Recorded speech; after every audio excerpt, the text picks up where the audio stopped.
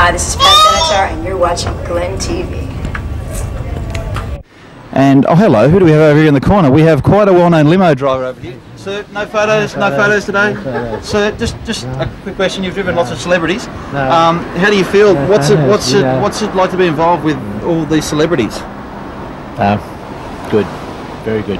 Very good, very good. And they do they treat you well? Very well. So, is there another job you'd rather have, or is this, as far as you're concerned, is this This particular moment, I, there's plenty of other jobs I'd love to have. Right Plenty of other jobs. I mean, Yeah. you're right. Okay. Well, I appreciate your time and thank you very much. Thank you. Great. So there we have. Um, there's a lot of people uh, involved in this industry: uh, limo drivers, security, concierge, uh, fans, um, low-life paparazzi such as myself. Hey, how you going, folks? I'm John Williamson. I've been around for a long time, been in the game 25 years. I'm a country folk singer. I don't call myself country and western. Country folk singer. Sing songs about our country.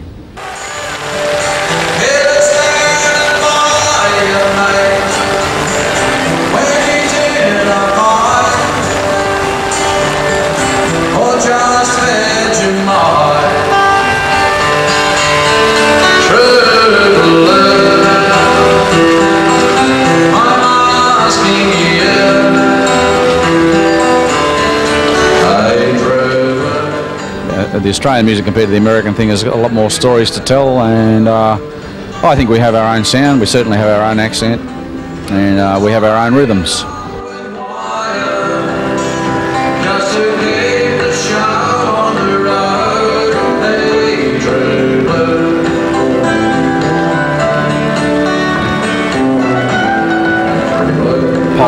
pop music is trendy, and that in in in itself says that it's going to be here today, gone tomorrow. Whereas I think country folk music uh, has a lasting uh, effect. It, it's it's music that is about history, it's about today, and it's it's things that, about things that will survive. And uh, we don't try to do something for today. We, we do something for the for the future. It's a part of me just like another. It started out as a little ukulele I was just a boy on the farm. And what do you think the secret to survival is? The biggest secret is is being yourself, um, working on your own strengths.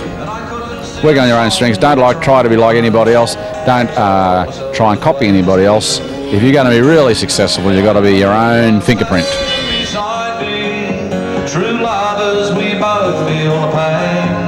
Far as I'm concerned, I don't consider myself successful. Five, ten years from now, I don't consider myself successful. When I'm uh, revered as like a Quincy Jones 20 or 30 years down the road, I think that is success. You know, a, a, a hit song, a hit album, a hit couple of albums. I trade it all in for a hit career.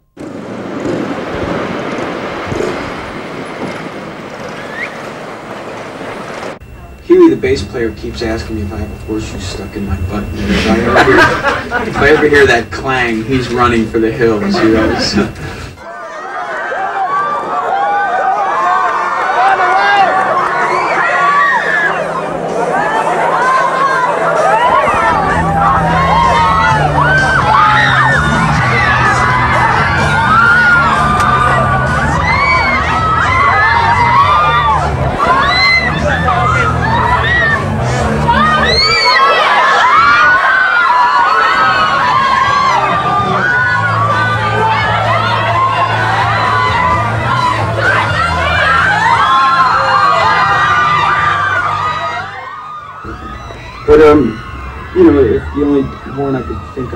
I'd to is that perhaps we wrote some songs that people liked over the years. Oh yeah, there's a lot to deal with, but you know that going into it, and you basically have to have a lot of um, dedication. You know, if you want it to happen, you've got to stick it out. You've had three albums out, Margaret. What's the key to survival, do you think? Uh, perseverance, I think, and uh, a bit of talent that helps.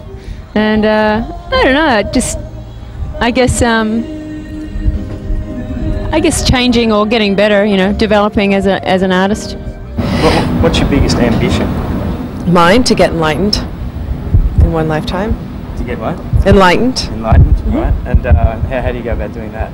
You uh, you find something that works. I'd meditate all the time, and uh, I studied in mystical school, so I had to use specific tools to get there, but that's my main thing. I guess uh, the hardest thing to deal with success for me is, I guess, yeah, assholes with camcorders that come around when you're trying to watch a fucking movie. Other than that, I think uh, it's all right.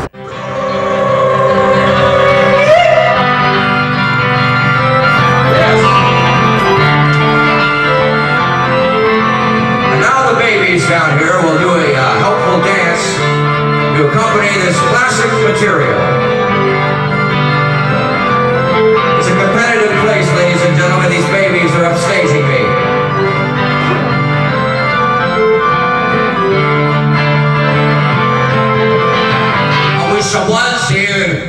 Tijuana, eating barbecued iguana. I take requests on the telephone. I'm on the wavelength far from home. I dial it in and to the station. They talk about my U.S. inflation. I understand just a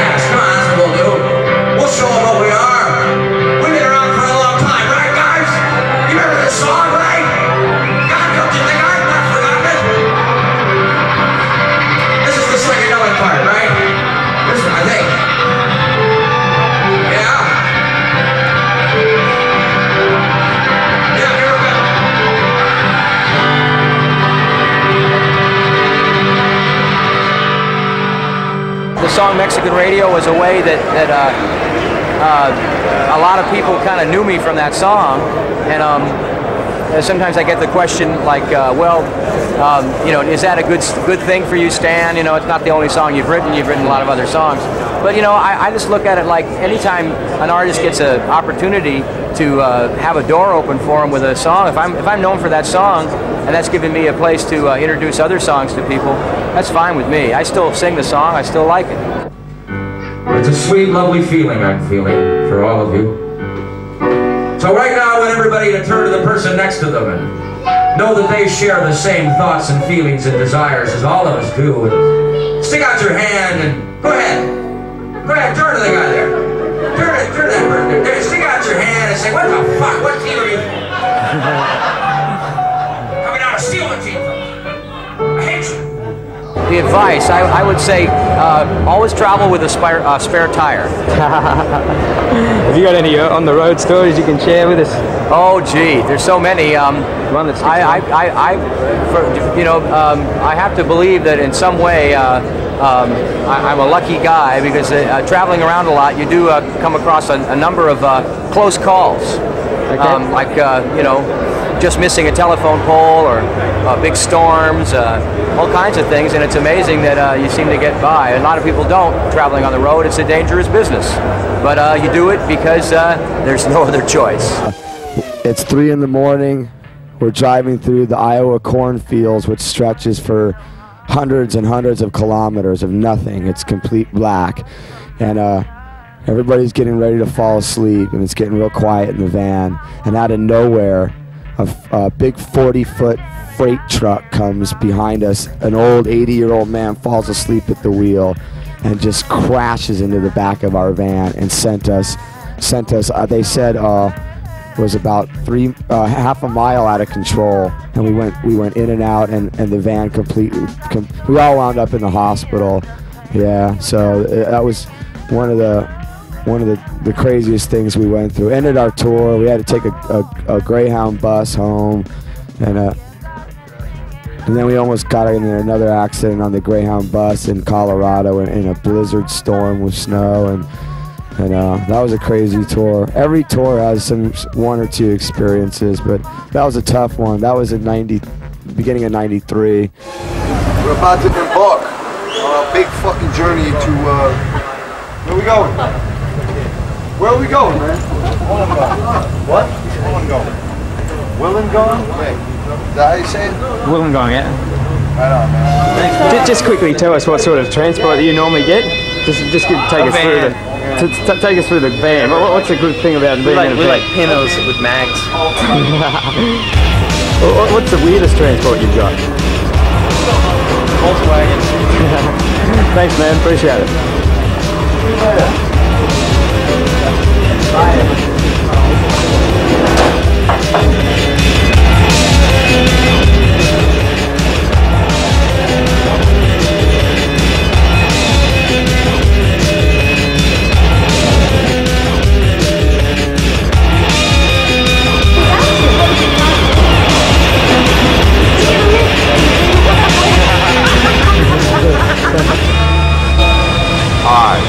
I'm Andy Prieboy and you're watching Glen TV. Hi, I'm Rita D'Alba and you're watching Glen TV. I'm Sarah from the Super Jesus. This is the sort of transportation we're using at the moment. This is actually much better than what we normally get. We've actually been driving around in a 12-seater van, which is really uncomfortable. Now we've moved up to the Tarago. We've hit the big time and we're using the Tarago. So uh, I think this is bad. You should have seen what we used before. Okay, do you, want, do you want to just take the camera? And just uh, point out where you, where each member of the van sits and and uh, how long a travel you take. Because where you from? You're from Adelaide, aren't you? Yeah. So you just did a commentary. Alright, does it, does it, just... Actually, I'll put it on automatic. Automatic? I'll put it Yeah. on automatic focus for you. Where are we? There you go. Okay. So that zooms up there. Zoom in and out. Right. It's not focusing. Hang on a sec. Ah, alright, that's Stuart. Say hi, Stu. Hi, how you doing? He's the bass player and he always drives. He doesn't let me drive. I'm never allowed anywhere near the steering wheel. So I sit way up the back here by my lonesome because they don't let me drive because they think that I suck. Paul, our drummer, he sometimes sits up here with Stuart and they drive together. That's right. Because he's got a trucky fantasy and uh, he likes to take over. This is his domain. Turn around, Dave. This is David. He's our sound guy. Where, hey, what'd you do? All right. I just lost all the focus. Thanks, Sarah. Anyway. Can I ask you a couple of questions? Is that cool? Yeah. Yeah, able to. Can I do it in Uh, light? Okay, I have to go. I'm supposed to be doing stuff. Yeah, uh, I'll just do it really quickly. Okay, Sarah, so this week's been a pretty busy week for you with the ARIAs and everything. Um, How different has it been to, uh, what, what, what, how significant has it been for you, your career, do you think? Um, I guess it's hard to say at the moment because it was sort of one night and we were like, wow, this is all really awesome. And then we just moved on. Now we're sort of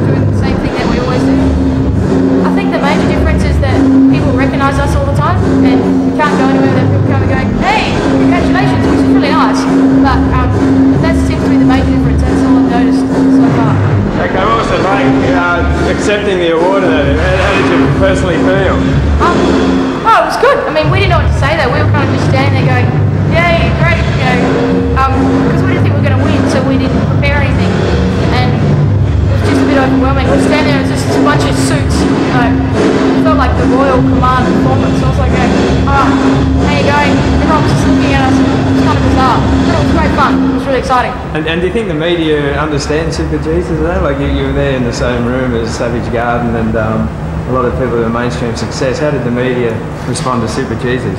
Um, what, like afterwards in, in interviews and stuff? yeah, press conference, etc. Um, yeah, that was, you know, like asking us the same old questions and it was about 100 photographers all swarming around us. We were standing there laughing our heads off going, this is ridiculous.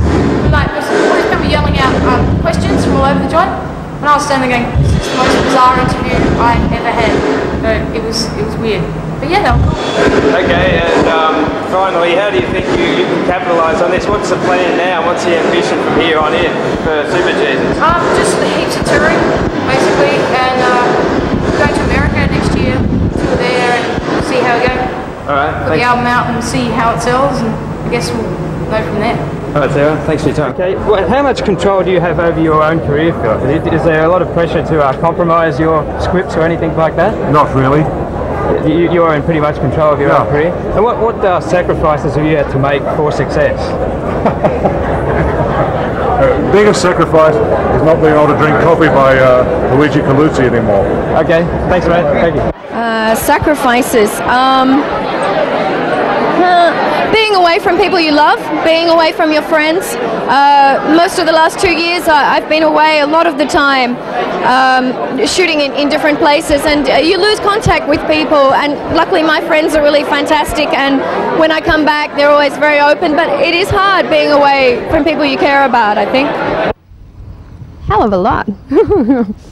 mm, hell of a lot. I mean, I love my work, and it's just, I mean, it's, you know, there's my son who comes first in my life, Dylan, and then there's my work, and I really don't have time or room for anyone else. and that, you know, that's a sacrifice. That's a huge sacrifice because it's just hard for somebody else to come into your life and understand what you do and that your work is continuous.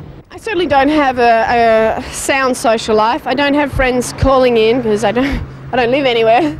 Um, my numbers change constantly. Nobody knows where to write to me. Uh, um, it's very hard to hold down a relationship. Um, I guess they're the more personal side of things.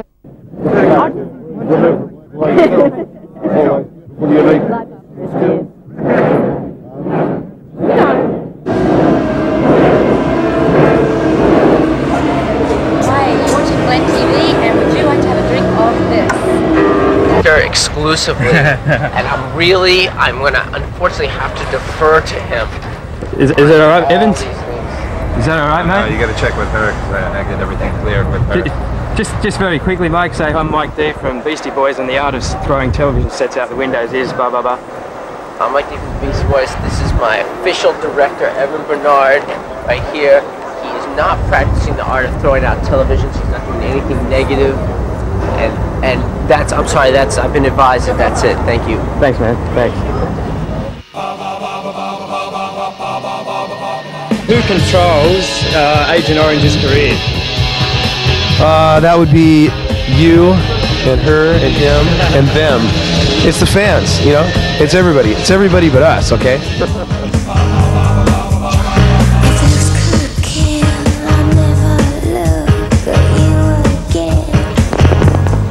Don't you point that fucking thing in my face again, boy. I'll rip you new asshole. You hear me? Don't get in my way. Don't give me no lip. Get the hell out of here. Now!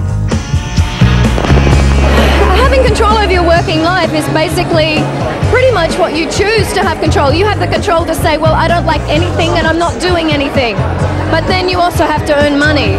Um, so there is that. If you choose to be in control, you can. You can just do the, the very, very best things and do nothing else.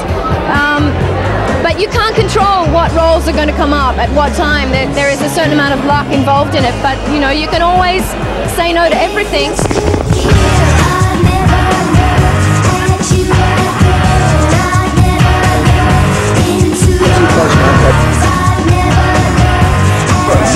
No, not you.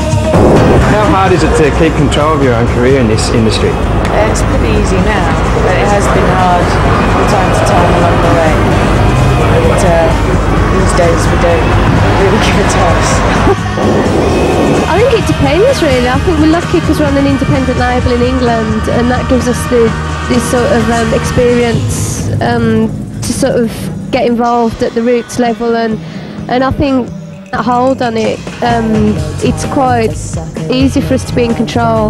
Um, some artists sort of get, you know, sort of pushed around a bit, but I think we're also so um, definite about where we want to go that you know it's, it's not a problem for us.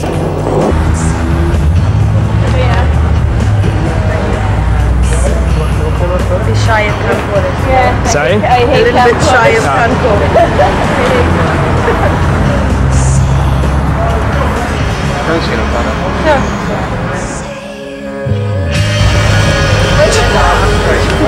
Don't, don't bother with that. That's a bit silly. The CIA controls my every move. Uh, no, no, we're, we're in control. we we're pretty much in control of uh, the, you know, songwriting, uh, uh, the, you know, photographs, videos.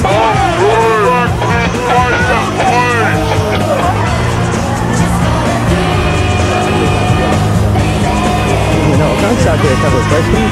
On board? No. Excuse me, Mr. Johnson.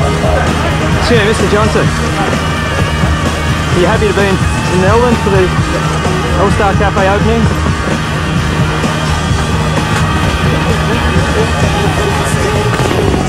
No, and I always look at it and say, wow, this is a gorgeous job and we love it.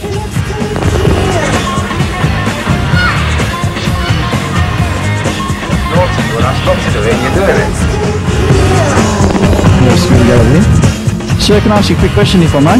Um, how do you feel uh, being a security officer in this in this neighbourhood? We're just specifically looking at celebrities that stay here. Um, do you get much problem? No, Appreciate you of love the uniform. Thanks very much. Is that a pistol in your pocket, or are you just glad to see me?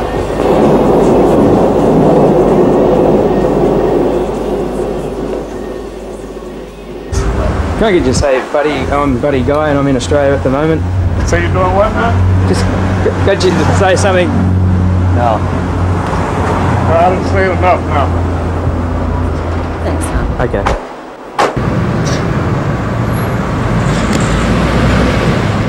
Sam, what responsibility do you think Hollywood has to its audience?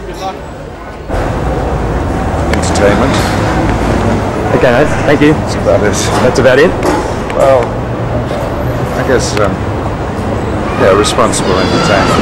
There's a, there's yeah there's a lot of calls for um, the um, with, with violence in our society. A lot of people are looking at Hollywood to blame. Do you do you think Hollywood has a responsibility to? I don't think it's possible to blame Hollywood for, for violence. Okay, thank you. Good evening. Good evening. Hi George, and welcome to the AFI Awards. Thank you. We're looking forward to catching you. Guys, Are you excited about the show? Good luck. Move back, move back. Off the carpet, off the carpet. Mr. Lucas, what responsibility do you think movies have to their entertainment audiences? That's an awful long question. Got three steps. Fellas, off the carpet, thanks. Okay.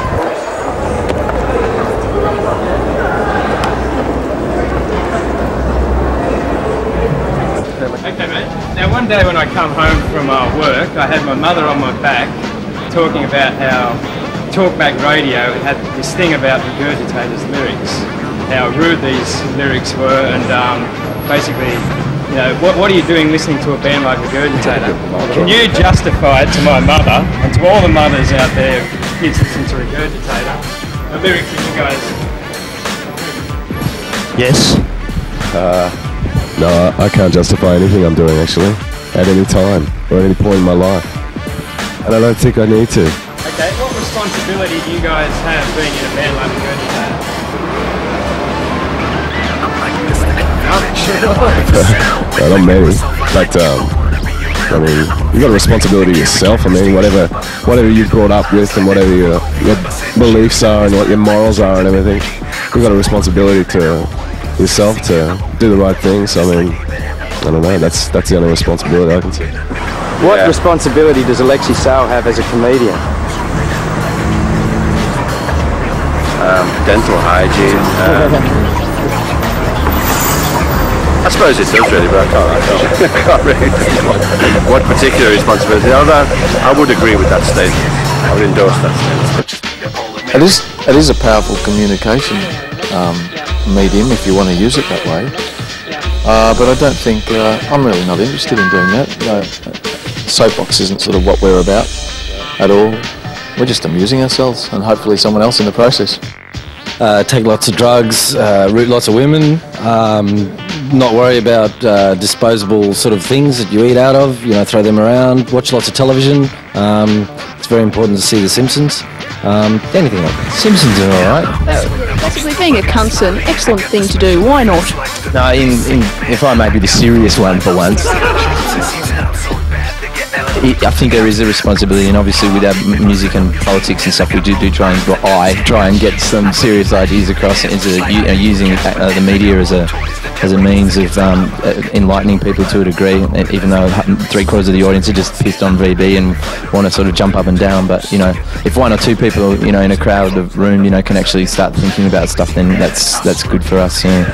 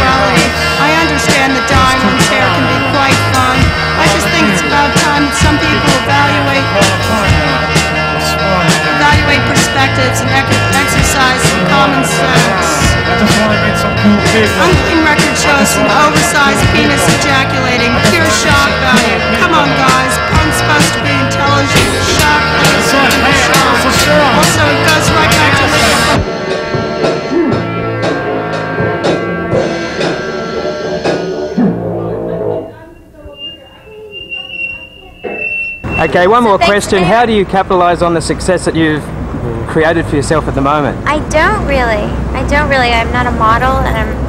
I don't do clothing ads, and I don't capitalize at all. Isn't that sad? Okay, then thank you for your time. Appreciate that. Okay,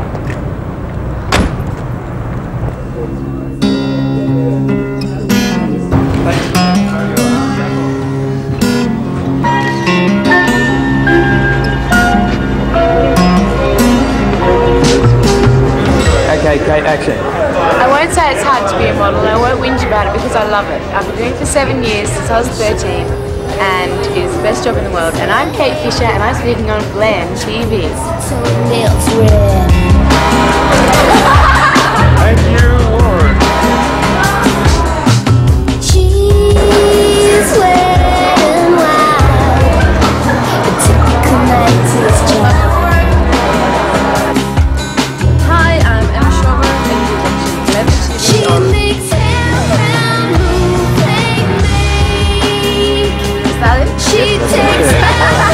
Well, um, experience, you know, you get to travel, you get to become very independent, you get to meet a lot of people. You have to like to meet a lot of people. And then, um, of course, the money is quite nice, the part of the money thing. But from, I mean, if you like, you have to be a bit of an exhibitionist to like it. And I guess I've always been that, definitely. I've always thought I was. I Have you? haven't it at all. You've always wanted to be famous, I've always thought I was. I never knew the difference. and you enjoy fame. Do you appreciate what it brings you? Yes. She makes him move like me. It's personality, it's being photogenic, it's not just being beautiful on a everyday kind of existence. It's how you present yourself in front of camera, how you look in front of a camera, and how you can deal with it all. The bitchy thing, I don't know. I don't answer those negative questions, no. It's, uh, I have no idea, I can't answer that question.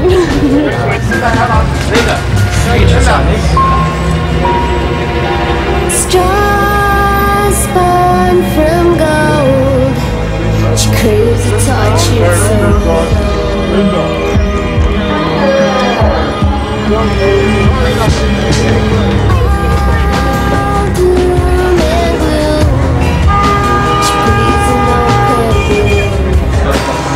Linda, Linda.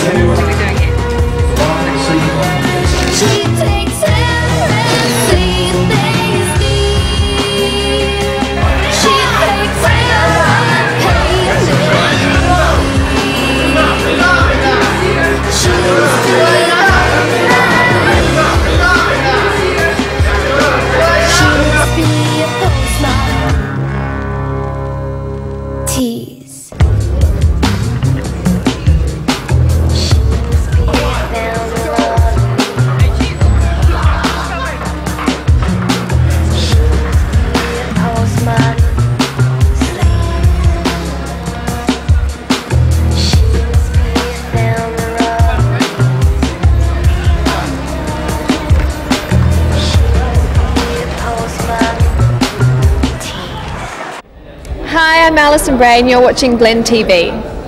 Yep. This is the alternate to television.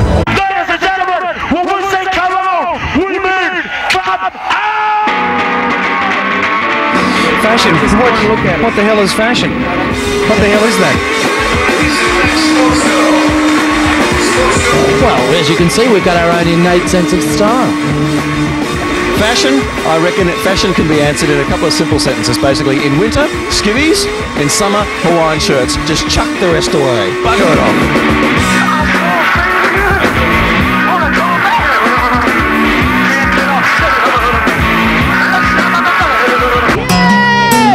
I got this outfit from Myers, and it's a fantastic suit. I don't have to iron it. No creases. Fits very well. Slightly like it. Not. The label is Jane.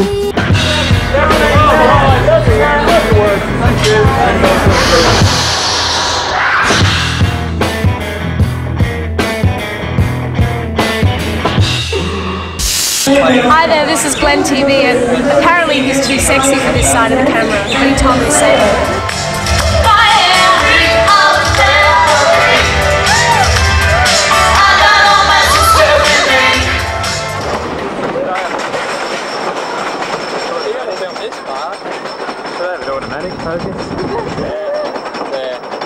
Life like a roller coaster ride? Just make sure you hold on to the fucking thing when you're going around corners.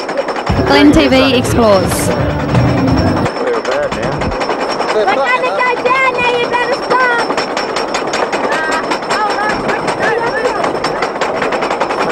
Scared? No. And you might lose the camera? No. You know what you do, MacKay? Close your eyes. Hold it!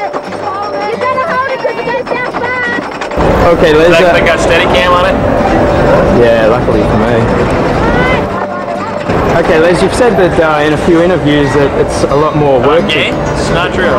That uh, there's a lot more work involved in being a band than uh, usual. What, what sort of work is involved in being a band that most people would take for granted? A lot of heavy lifting. You know, uh, we have to dig drainage every now and then. But, uh, you know, physical labor never hurt any man. Lots of time wasting, travelling, people, faces. Yes, the wait, the wait, wait, wait, where nothing's happening. Is really exciting and glamorous too. you get paid to act like a baby, or artists start making demands like their children, you know.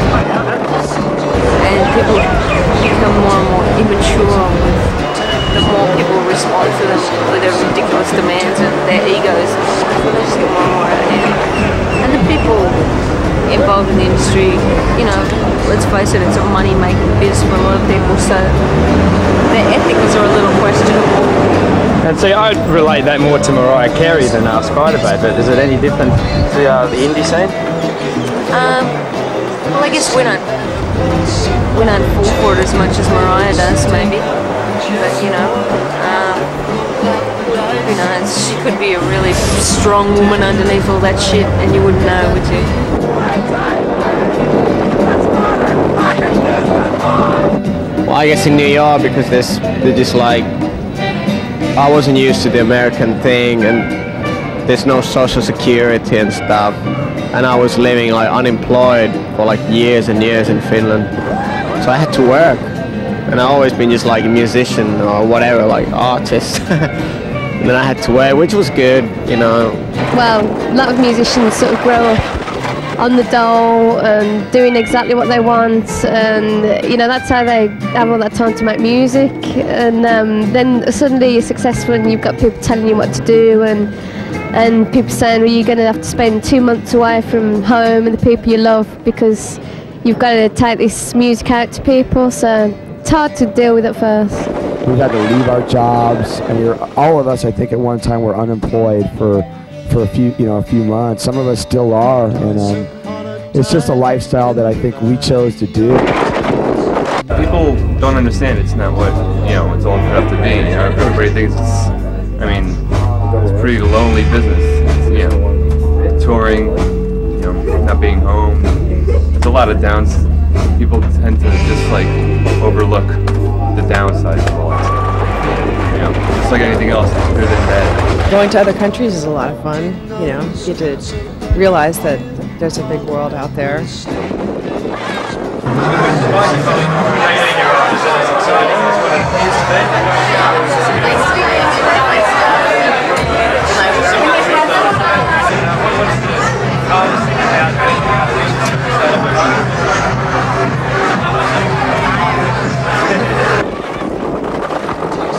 not glamorous. I mean, it's hard work. You know, one minute you're in work, next minute you're out of work, next minute your phone's ringing, next minute it's not ringing.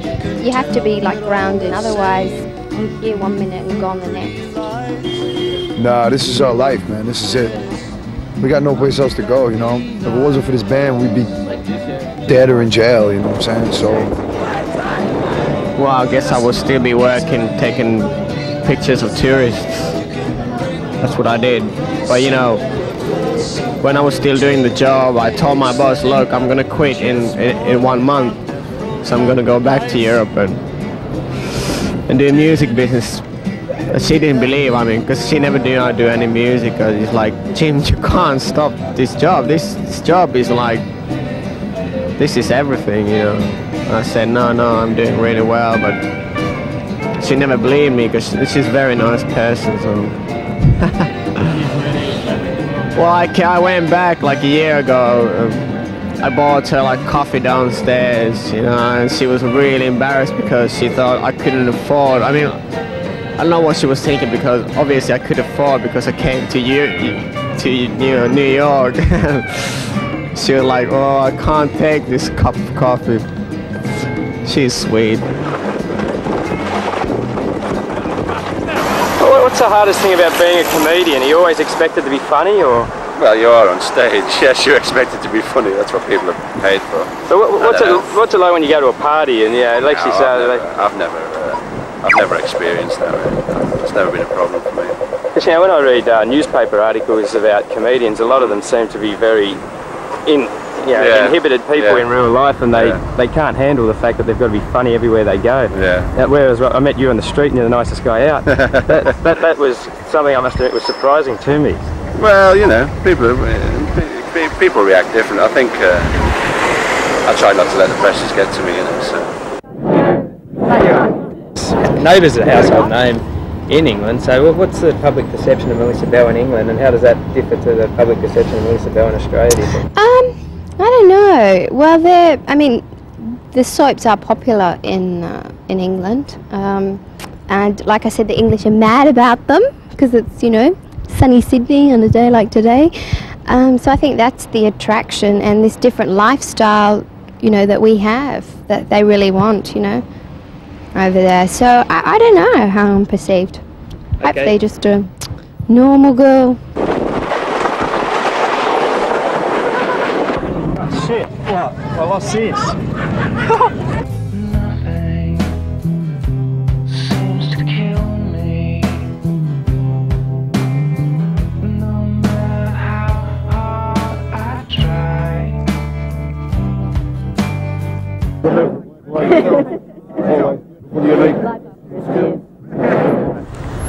Okay, Lachlan, I'm recording.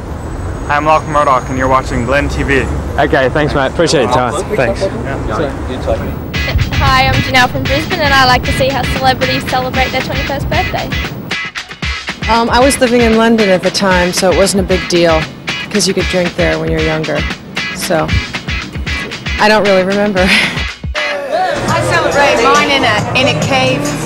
We had a party in a cave. We all went out to this cave in a in a bus.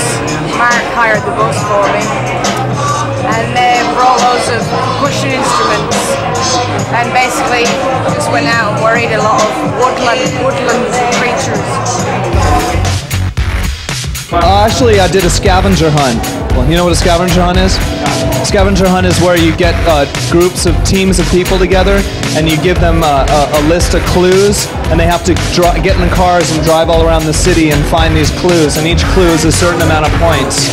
Like you have to uh, get a Polaroid of yourself running naked uh, down the middle of a mall and that's 50 points or get a Xerox of your ass and that's 30 points. Steal a, a, a highway safety cone and that's 25 points. Something like that. It's fun. I suggest it. 21st. That's like a long time ago. I've no idea. No, wait, wait, wait, wait, cheers, man. Let's see, um,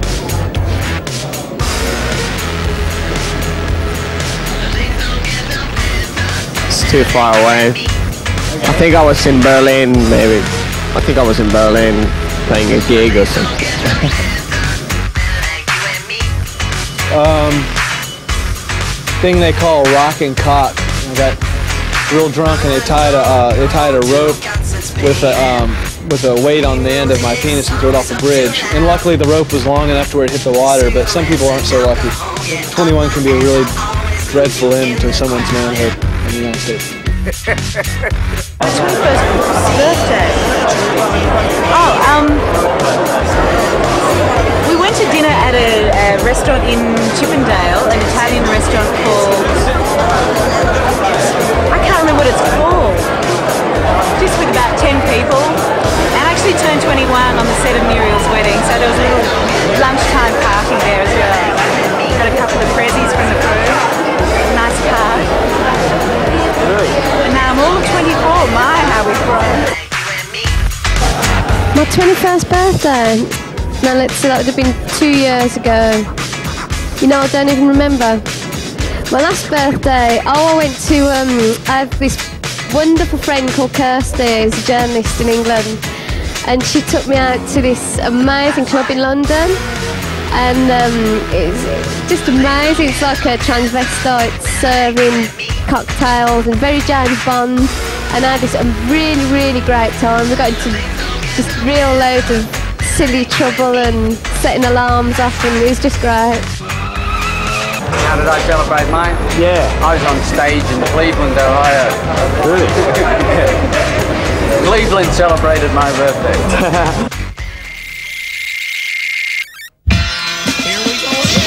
Music and our message. Right versus wrong. Good versus evil. God versus the devil.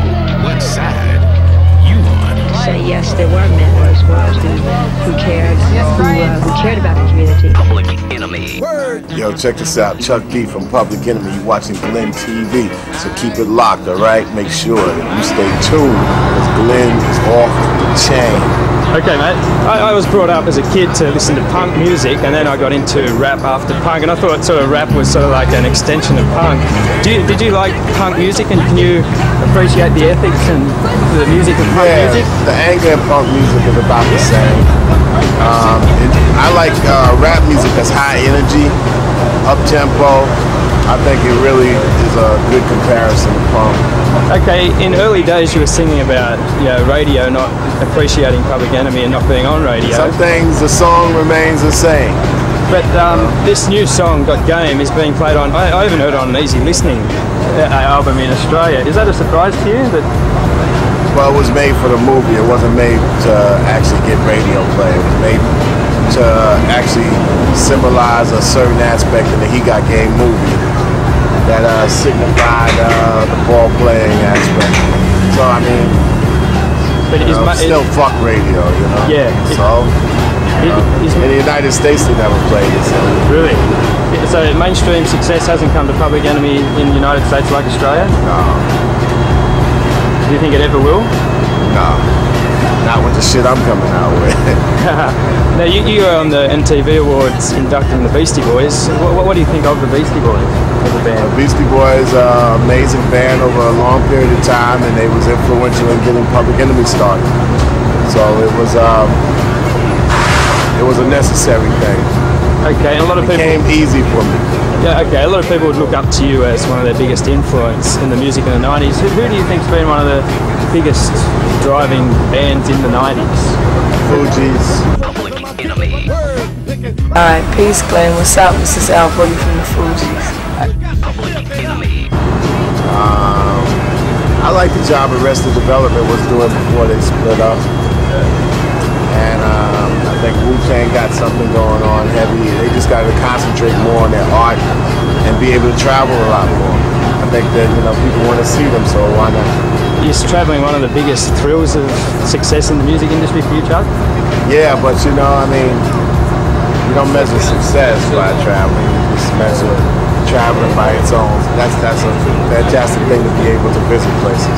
So it's still a buzz for you to come to Australia, or is it just like oh, another? Oh, if I don't get a buzz, I'm not coming. This is Professor Griffin here in uh, Sydney, Australia. And uh, by the way, my album came out August 18th. It's called Blood of the Prophet. You mind if I go get one and show you what it looks like? Wait right here. I'll be right back.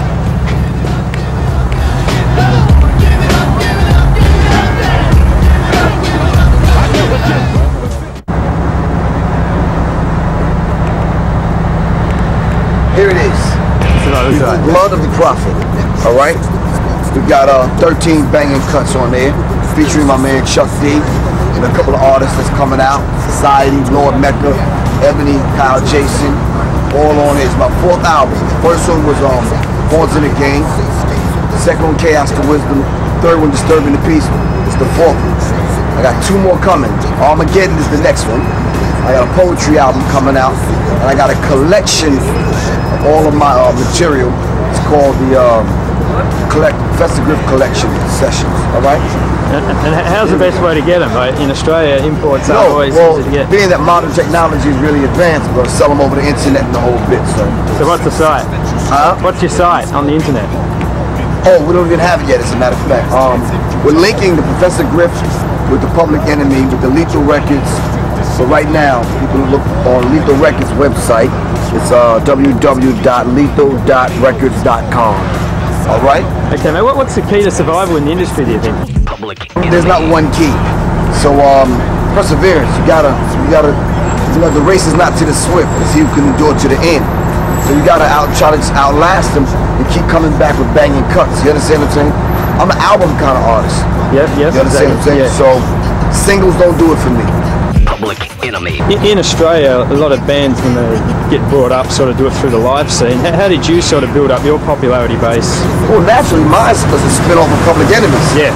I didn't do it on my own. If it Yeah. wasn't for Public Enemy, I probably wouldn't be on the streets of Australia talking to you. Exactly. yeah. So, um, mine's a spin off of Public Enemies thing, and I always say I never asked to be a rap artist. It was brought to me, you understand? It shows me. So, like I said, here I am on my fourth album.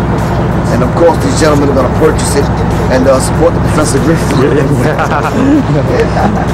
but anyway, uh, I'm going to sign out. About to get on this bus so we can go to uh, New Zealand. Cool, buddy. Yep. Check out All Blacks. Do you know what the All Blacks are? Someone told us a sports team. Yeah, it's a rugby. Rugby? Rugby union. Okay. Hit me!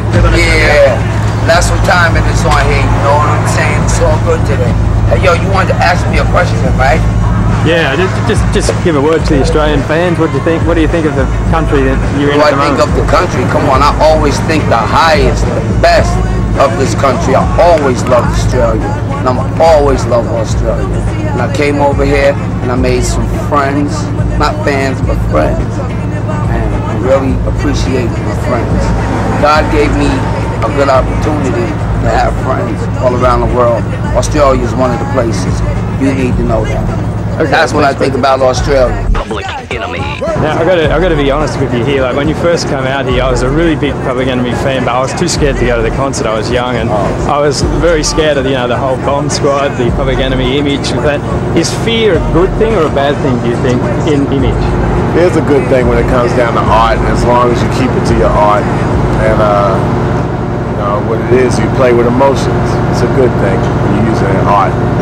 As fear as far as a, a day-to-day thing that we live by, um, some, you you know, people gotta live together. So sometimes things can go a little bit too far. I mean, in rap music, we lost two rappers over the last three years, and two main rappers, and it's a travesty. And are you close to those two guys? I'm closer to Tupac than I was to Biggie. Okay then. And uh, last Chuck D, how are you going to? How, how will you remember the '90s, and how do you think the '90s will remember you? Hopefully the 90s will, will remember me as somebody that stuck to his guns. And I'll remember the 90s as something that, you know, a decade where people were a lot more synonymous with each other than different. Public enemy. I want to say this.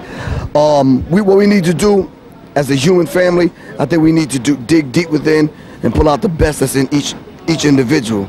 You understand what I'm saying? So you can give your best and share your best with the next person. That's what I like to say. Peace, Sydney. I'm out. Public Contact us on our website, all right? Oh yeah, what's the website? Public-enemy.com. Spread the word. Okay, thanks, buddy.